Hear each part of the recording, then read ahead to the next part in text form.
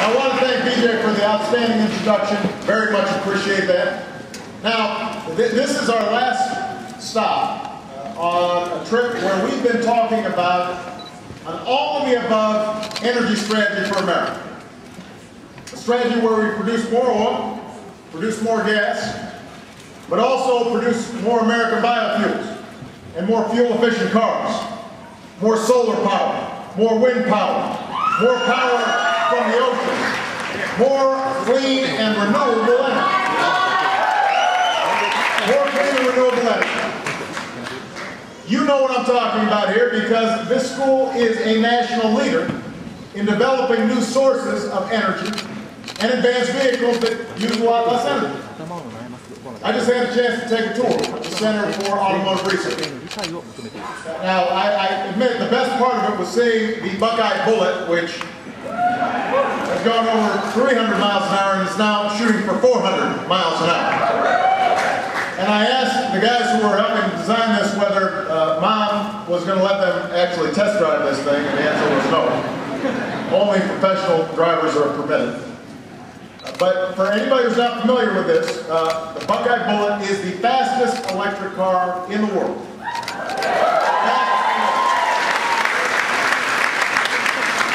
I don't know who's going to need to go that fast, uh, but it, it is a testament to the ingenuity here at Ohio State and what is essential to American leadership when it comes to energy. Our brain power. You know, I, I, will say though, when Malia gets her license in a few years, she will not be allowed to go 300 miles an hour. Now, now, one of the reasons that I've been talking so much about fuel-efficient cars and new sources of energy is obviously because we're seeing another spike in gas prices right now. And that's tough on folks. You know, I, I remember when I was a student, filling up was always tough. And gas prices are putting pr pressure not just on students, but on a lot of families all, all across Ohio, all across the country. Whether you're trying to get to school, go to work, go grocery shopping, dropping off your kids, you've got to be able to fill up that gas tank. Right now, for most people, you don't have a choice. So when prices spike, that tax hike feels like a, or that, that gas spike feels like a tax hike coming right out of your pocket. That's part of the reason that we passed a payroll tax cut at the beginning of this year, so that the average American would get an extra $40 in every paycheck.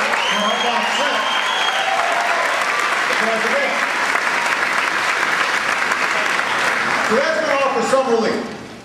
But the bigger question is, how do we make sure that these spikes in gas prices don't keep on happening because we've seen this movie before. This happens just about every year. This happened this time last year, gas prices were even higher in the spring and summer of 2008. It has been going on for years, for decades. And every time prices start to go up, especially during election, politicians, they start dusting off their three-point plan for $2 gas. although, although this year they decided it was going to be 250. This year they decided it's going to be 250. Now, I don't know where they picked that number, 250. Because it could have been 240, I guess. They could have said 210. They, they could have said 50 cents again. But they all make the same promise. To the gas station, and they make sure a few cameras are following them, and then they tell you how we're going to have cheap gas forever if you just vote for them. And it has been the same script for 30 years. The same thing. It has been like a bad rerun. And when you ask them, what specifically is your service? I, am here to speak to these folks. The, uh,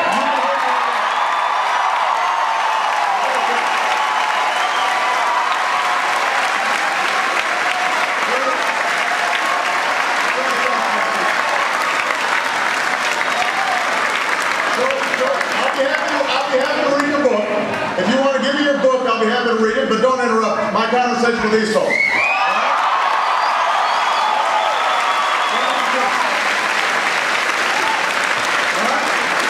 Show me some courtesy. I'll be happy to take your book, but don't interrupt everybody else. All right? Okay. Now, where was I? Go ahead and get that book from me, guys. Who wants to give me a book? Please feel free to it. Well, well the, uh, your time this book, make sure that uh, you give it to us. All right. Now that we've done that settled. Now, the, the question is, why is it that every year we hear the same story about how we're going to have $2 gas or $1.50 gas or whatever price they come up with if we would just drill for more oil? Solution that you always hear. Prices will immediately come down and all our problems will go away, like magic. There are two problems with that. First of all, we have been drilling. We're drilling right now. Under my administration, America is producing more oil today than at any time in the last eight years.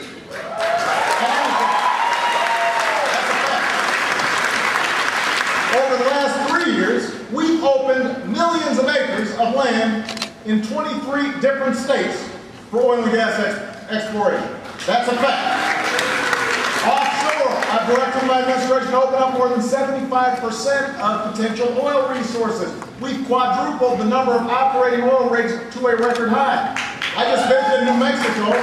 Their big problem is they don't have enough truck drivers to transport all the oil that they are producing. We've added enough oil and gas pipeline to circle the entire earth and then some. I just visited one of those new pipelines in Oklahoma, and today I directed my administration to make sure that we cut the red tape in terms of reducing some of these bottlenecks. So the problem is not that we're not drilling or that we're not producing more oil. We are producing more oil than any time in the last eight years. That's not the problem. There are probably a few spots where we're not drilling, it's true. You know, I'm not drilling uh, in the South Lawn. We're not drilling next to the Washington Monument. We're not drilling in Ohio Stadium. So there are some spots out there that we are not drilling. But we're doing so in a way that protects the health and safety of the American people and protects America's incredible bounty that God gave us. Our research.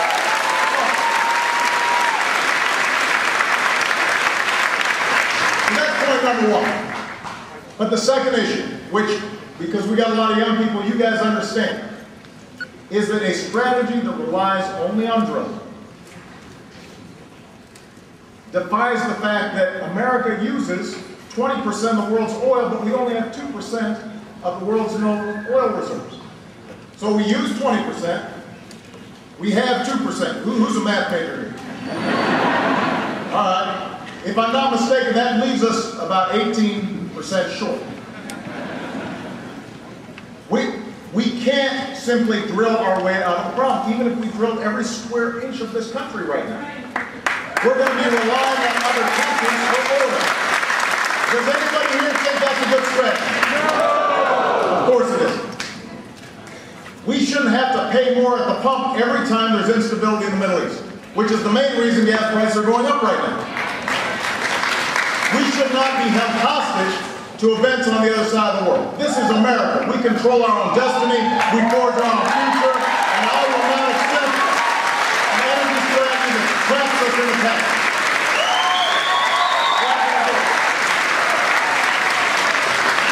Present, America is going to be pursuing an all of the above energy strategy.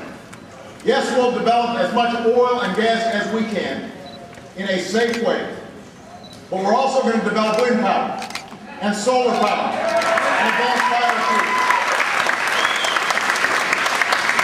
We can build the next generation nuclear reactors that are smaller and safer and cleaner and cheaper, but we've got to also look at renewable energy as the key to our future. And we've got to build cars and trucks that get more miles to the gallon. We've got to build homes and businesses that waste less energy and put consumers in control of their energy bills. And we'll do it by harnessing the same type of American ingenuity and imagination that's on display right here at Ohio State.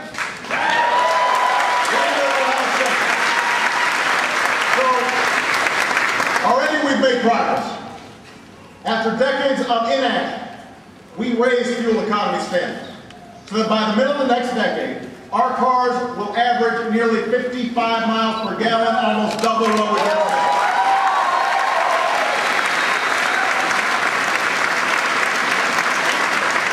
That means you'll be able to fill up your car every two weeks instead of every week. You like that? That will save the average family about $8,000 at the pump over the life of a car, which is real money. To use even less oil, we're going to have to keep investing in clean, renewable, homegrown biofuels. And already we're using these biofuels to power everything from city buses to UPS trucks, even to Navy ships. And the more we rely on these homegrown fuels, the less oil we buy from other countries, and the more jobs we create right here in America. We also need, we also need to keep investing in clean energy like wind power and solar power. I just, I just visited the biggest, I just visited the biggest American solar plant of its kind in Boulder City, Nevada. It's powering thousands of homes and put hundreds of local people at work. There are thousands of companies like that all across America.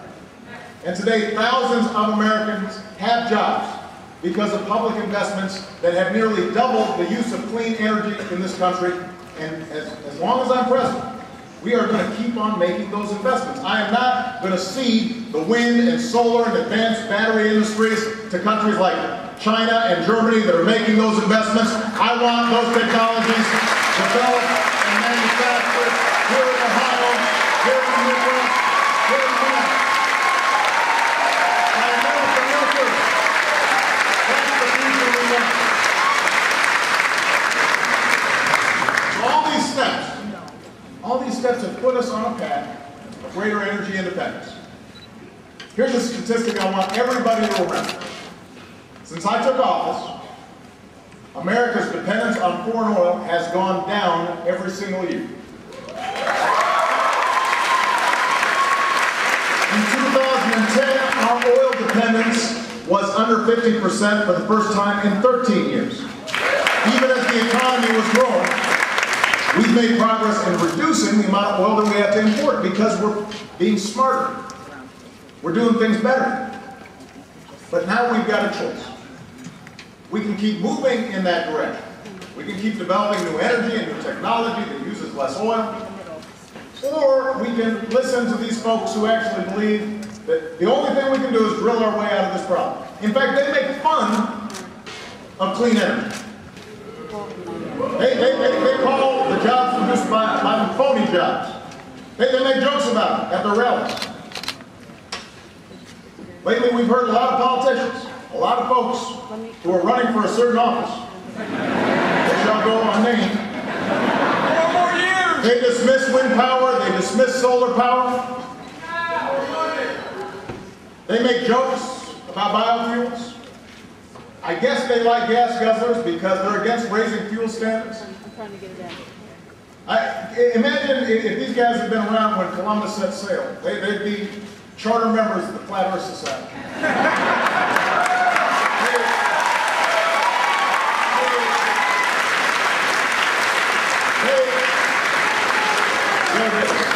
They, they, they don't ask uh, what we can do, they, they explain what we can't do and why we can't do it. And the point is, there will always be cynics, naysayers, who just want to keep on doing the same things the same way that we've always done. Well, that's true.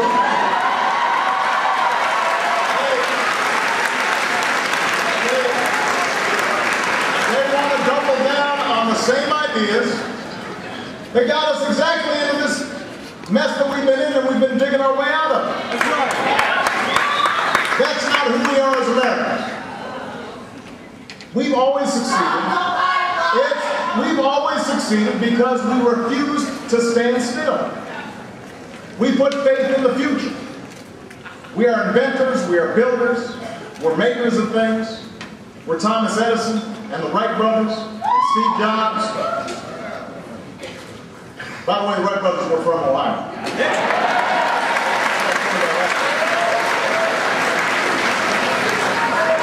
But that's who we are. That, that's who we need to be right now. We can't be afraid of the future. You know, the, the flat earth crowd, they've got a different view. They, they, they, they would rather give $4 billion in taxpayer subsidies to oil companies this year than to invest in clean energy. $4 billion to an industry that's making record profits because of what you're paying at the gas station. Does anybody think that they need help? That they don't have enough incentive to drill for oil? Does anybody think that's a wise use of your tax dollars? No! We have been subsidizing oil companies for a century. That's long enough. It is time to stop the taxpayer giveaway to an industry that's rarely been more profitable and start making investments in a clean energy industry that has never been more promising. And when Congress votes on this, you guys should put some pressure on to tell them, do the right thing. Bet on our future, not on our past.